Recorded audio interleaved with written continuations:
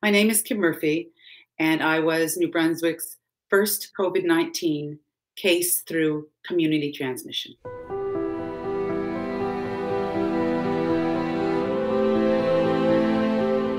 Right now, I really miss my kids.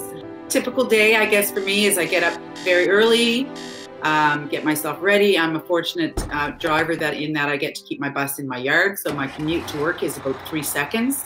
Yeah, it's every grade. I drive uh, little tiny children who can barely climb up the stairs of the bus to, you know, high school kids with full beards who are about to uh, graduate.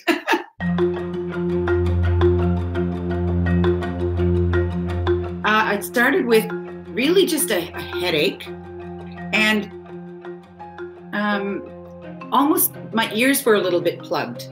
So I really didn't think that it could be could be COVID nineteen until I read an article uh, about loss of taste and smell. And that's what prompted me to um, call 811.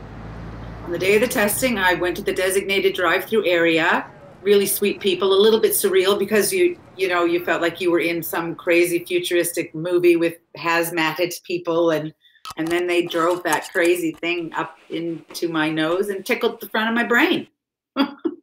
I waited about a day and a half for the results and um, was completely prepared to hear no, you know, you just have a flu. And that's not what they said.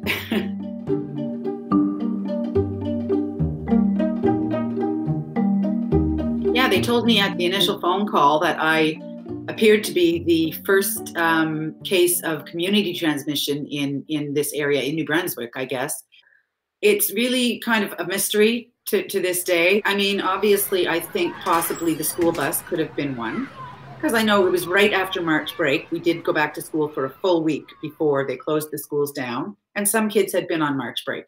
Did have an, I had a girlfriend who was sick and had the exact same types of symptoms as I did. Again, looking back, you know, I did, it kind of became this sleuth for a while about it, but then I kind of gave up and thought, you know what, it could have been anywhere. I was completely, could barely, you know, lift my head. And um, the beginning of that was also psychologically really scary. I kept waiting for it to go into my lungs. I kept thinking, is it going to go into my lungs? Uh, I'd go to sleep and think, oh God, am I going to wake up feeling worse? You know, and then I'd wake up and feel the same and be so thankful. So for about four or five days, I really I felt like pure crap.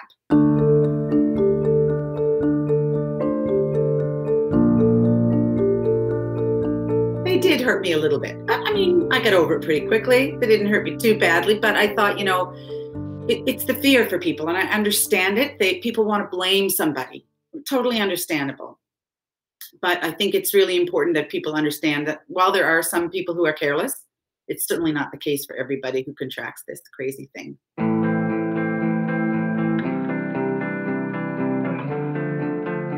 I don't really know yet how I feel about it. I'm not sure that my newfound freedom uh, can really be celebrated yet because we're all still in this situation. We're all still in this self isolation. Uh, I certainly don't feel brazen enough to do things that I used to do, and I, I, I certainly wouldn't do that.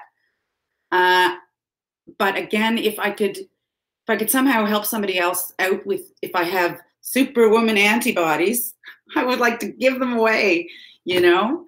So I, I don't really feel, I'm still, I'm optimistically cautious, I guess, um, about the virus being dead and gone in me forever and ever.